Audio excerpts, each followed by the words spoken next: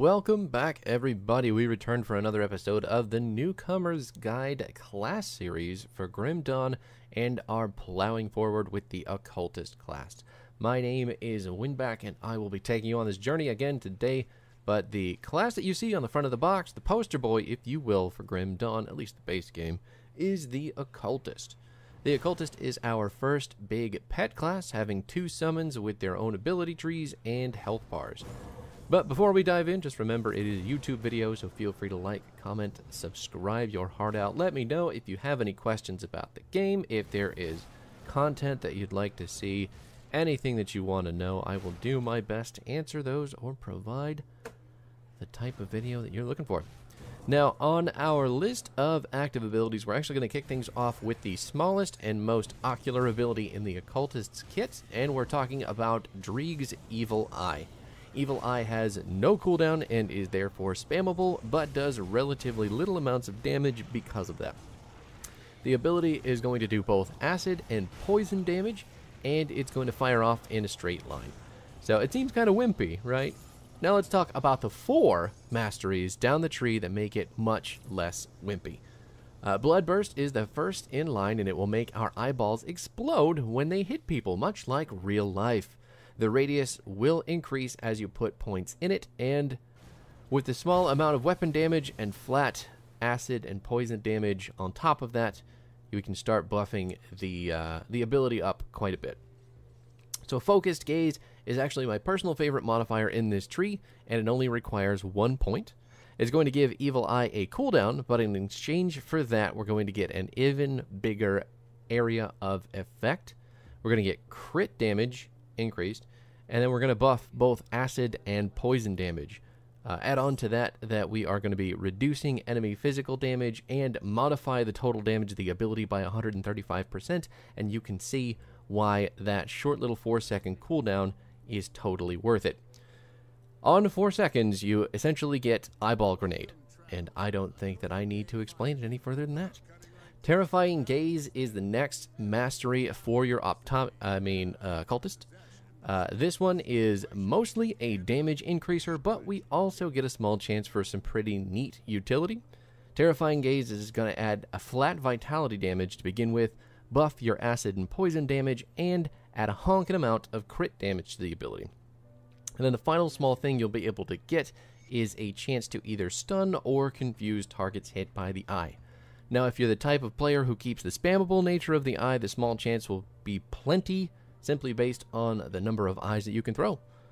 Vile Eruption is your final eye exam ability and is going to further increase your explosion radius while also launching chunks of viscera at enemies. The more points you put in, the more chunks you get.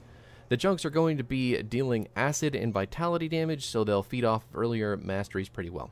Uh, this entire skill branch will ultimately keep you safe in fights while your pets are up front and tanking for you because it is a ranged ability, and if you're going for a squishy pet build, that will certainly help. If you need something to compare it to, you can always look back at the uh, Brimstone talent for the Demolitionists autos where they splinter off. Those uh, flesh chunks operate similarly. Similarly, for sure. Uh, now, our next ability is much shorter on the length of the mastery, but almost pure utility. Curse of Frailty is an area of effect slow, physical damage reduction, and bleed resistance shredding ability with a short duration and no cooldown. If you pick up Vulnerability on the next tier, you'll also get the ability to remove defensive ability and shred the resistance of acid poison, vitality, and elemental damage types. So even though this ability gets absolutely zero damage, it's going to make all of your damage abilities in those types hit extra hard. Not only that, but slowing and the defensive ability removal can make it much easier to kite if you're going for that ranged occultist type. Bloody Pox is the third active ability in the occultist kit, and despite painting a mental picture of bleeding from every orifice, it's actually going to do. Well, it's actually going to do exactly that. Uh, the bad guys are going to bleed from everywhere. Pox is going to deal vitality and bleeding damage, which makes sense, but more importantly, it's actually going to do percent health damage up to 13% per cast. This is actually nutters for butters, And then Fevered Rage is the first mastery that we've seen so far that is actually going to buff enemies while also dealing some even harder damage to them. So this one is going to let Pox deal more percent health damage, but it's going to give the enemies a huge burst of speed, increase their offensive ability as well. The good news is that it will also remove defensive ability and modify the total damage by 40%, so that should hopefully have the monsters dead before they can eat your nuts in a frenzy of blood-fueled haze, but you know, once you get further on in the game, maybe that percentage health damage isn't worth it. So keep an eye on the ability the further you go, make your own decisions. You know what we do here. Now, wasting is the next mastery for Bloody Pox, adding flat vitality damage and buffing bleeding damage while massively reducing offensive ability. It's not the flashiest, but still really helpful. Uh, Black Death will round out the tree with an increased duration, more flat poison damage, vitality, and bleeding damage buffs, with the diseased cherry on top being a chance to confuse infected enemies. And if you weren't aware, uh, don't think it required mentioning, but confused enemies will attack other enemies. So there you go. Our next active and one I find particularly helpful in tank uh, cultist builds is called Sigil of Consumption. Are you sensing the theme? Everything is the devil. This is the devil class. Okay, well, maybe not the actual devil, but the occultist reaches into some dark deities in the realm of Cairn for its mega edgy aesthetic, and Sigil of Consumption is just going to drop a big, screaming red circle on the ground that gets larger the more points that you put into it. Add to that the flat vitality, vitality decay, and damage converted to health, and what you're looking at is a giant vampire circle. Destruction is the only mastery for civil er, for sigil, sorry, and is going to buff the vitality damage we were already doing while putting some flat chaos and fire damage on it as well. Active ability number 5 is going to be the Blood of Dreeg, and while it sounds pretty aggressive, it's mostly a defensive ability. So Blood of Dreeg is actually going to activate in a radius, meaning it will apply to outward uh, pets and allies. Once the button is pressed, you'll get a percentage health back, percentage heal, uh, health regen offensive ability, and acid retaliation. It also, oddly enough, adds a small amount of acid damage to your weapon attacks, uh, which is cool for you if you're building acid, your pets if they do acid, or buddies if they have an acid based build. Pretty interesting. Aspect of the Guardian is the next mastery for Blood of Dreeg and is actually going to buff your vitality, acid, and poison damage. It's even going to go a step further and buff all of your retaliation damage significantly as well. So defensively speaking, this will give you a physical resistance to help stop trauma damage, but will uh, buff acid and poison resistances as well. So considering everything that this ability can do, it is hugely impactful as a panic button once it's sufficiently leveled. So I would definitely, definitely, definitely recommend this ability no matter what type of class you are building if you are taking the occultist. Really, really strong stuff here. Now, uh, with the final active ability coming up for us, uh, probably my favorite in the entire game, uh, we get to, to end the active tree on Doombolt. And it sounds exactly as cool as it is. The most cranky red lightning bolt that will change huge angry monsters into literal blood mist. Doombolt has no masteries or upgrades, but when your whole purpose is to nuke people from orbit with chaos and vitality damage, Doombolt is on an entirely separate level. Add to that, the bolt is going to increase its crit damage as well, and then the nuked from orbit metaphor seems a little underwhelming by comparison. Now let's get into the next set of abilities, which is our summons. We have summons, we're not doing passives yet. Uh, Summon Familiar is the first ability we've got, which is Little Blackbird. As our bird buddy scales, it's going to get crit damage, energy regen, energy regen, wow, all damage and health. Uh, when I say all damage, that means it's just going to buff all the damage types that the, the bird does. It's even got its own little ability that does lightning and electrocute damage. I believe it's called Lightning Orb. And then Mend Flesh is your first familiar mastery, and it does exactly that. This gives the familiar the ability to heal in an AoE, and that heal can go up to 15% of max health based on level. Uh, Storm Spirit is going to be your next mastery down the line, is going to provide a bunch of passive bonuses. We're going to get flat elemental damage, buffed elemental damage, elemental resistance, and lightning retaliation. And then the last mastery on the familiar tree is going to be Lightning Strike. Lightning Strike is another active ability for our bird boy on top of his heal and his lightning orb. So Lightning Strike is going to deal pet damage, lightning and electrocute damage, some nuts crit damage, and for all that juicy damage, the bird is also going to stun the bad guys. Lightning Strike's only moderate downside is that it's an 8 second cooldown, which isn't the greatest, but for everything that it does, I call it a fair trade. Now, the next summon on the table is everything that the occultist should be and is aptly named Summon Hellhound. Our Heat Hound is going to be dealing physical and fire damage with normal attacks and has a baseline ability that deals fire, physical, and chaos damage.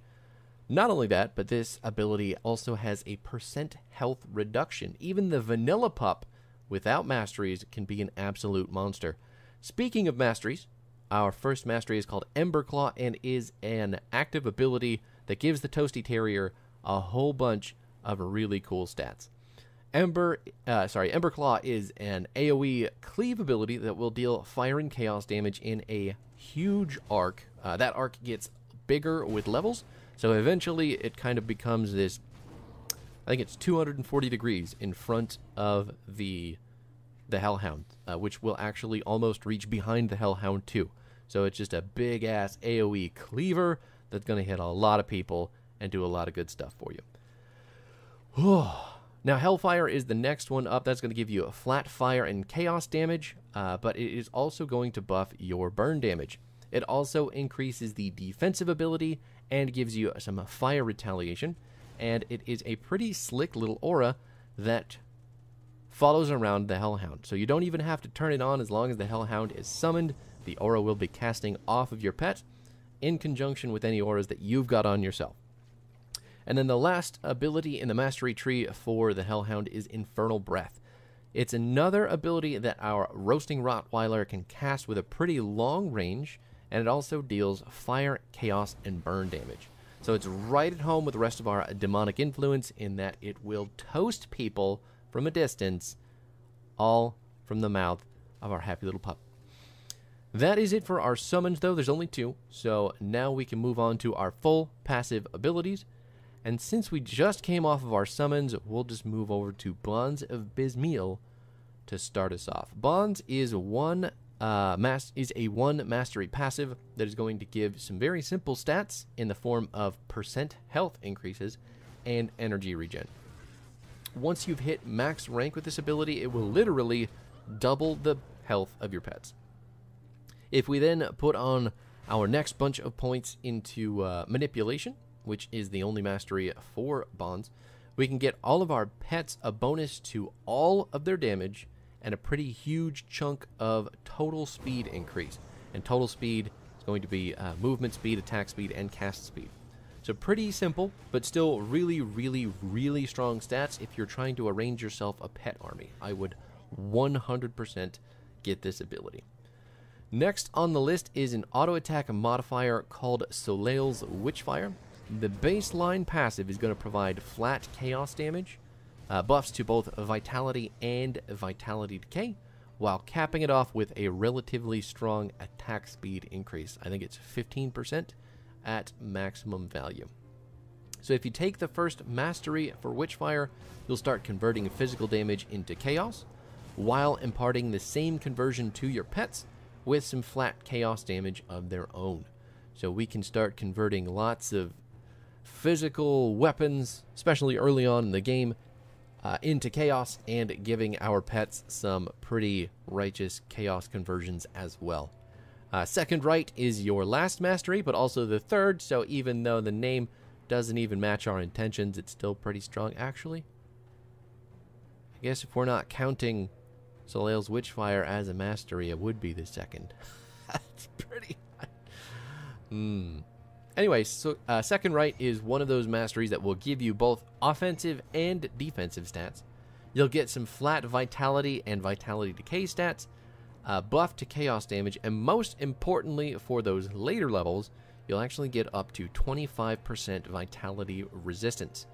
When it comes to the higher difficulties, resistance talents can never be understated, and there are a couple in the occultist kit that will really help you make your way through things.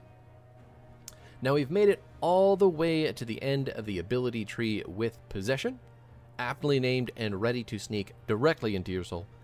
Possession is an exclusive skill, uh, but is completely worth it. So, 5 damage types with one ability, and you're getting flat chaos damage, but you're going to get buffed acid, poison, vitality, vitality decay, and chaos damage with this ability.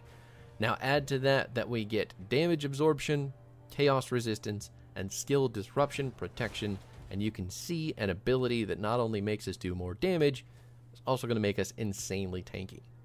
Now, skill disruption protection is protection against abilities that are going to silence you, uh, like we mentioned in previous videos. Uh, but that is ultimately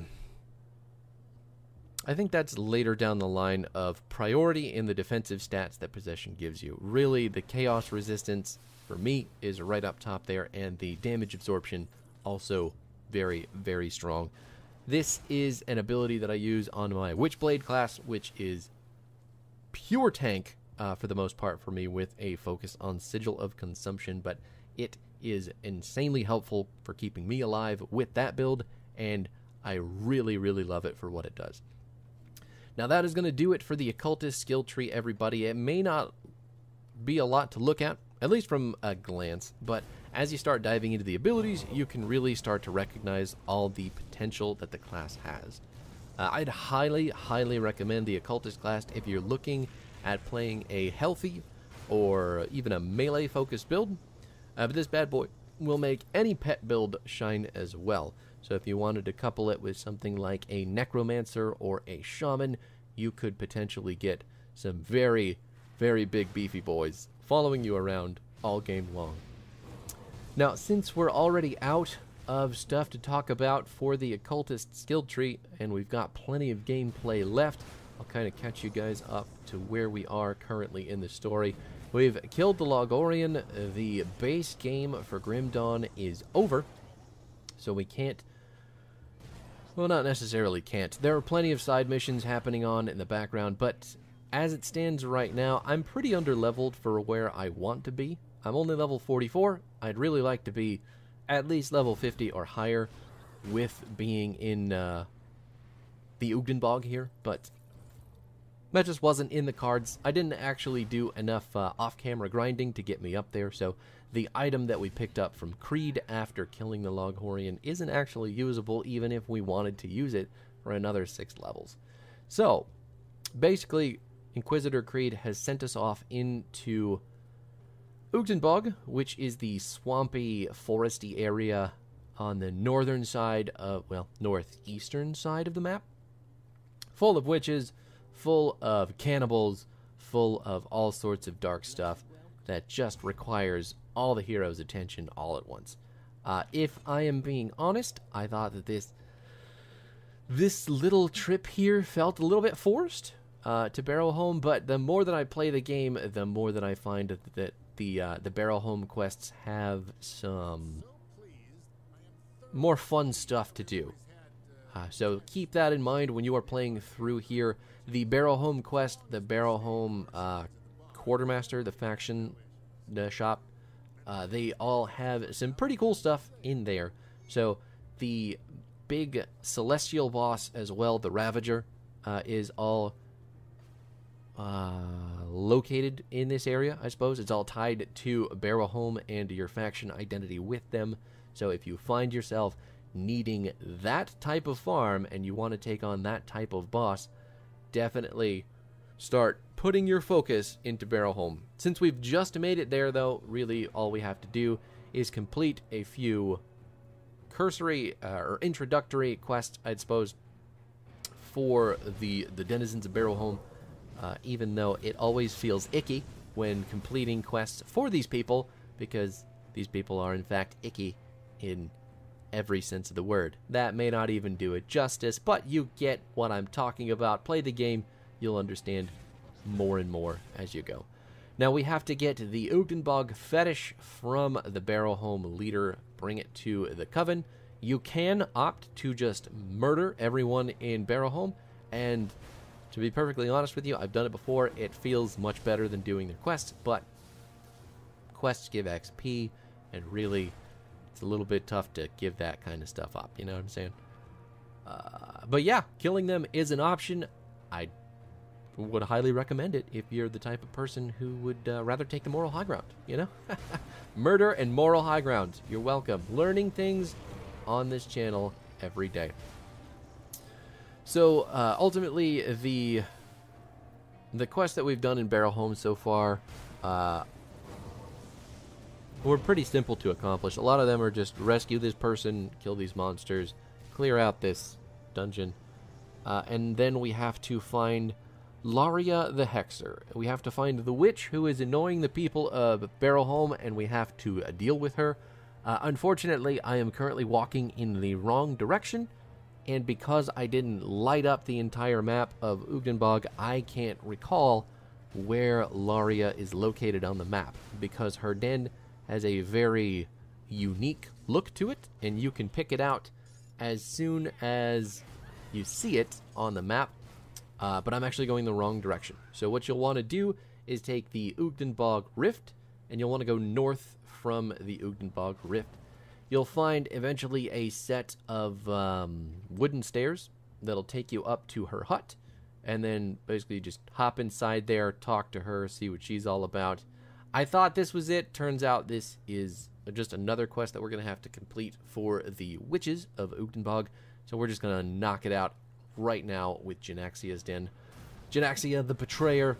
Uh, you will eventually get this quest from the the Coven Matriarch, I think it is. After you've completed all the Barrowholme stuff and you go back and talk and you save Ulgrim and spoilers, sorry. Uh, but you have to kill her. So there she is. We've located her. She's a little bit, uh, a little bit rough. I, I believe she is like a cannibal witch. So that's that's how um, she looks to be portrayed anyway.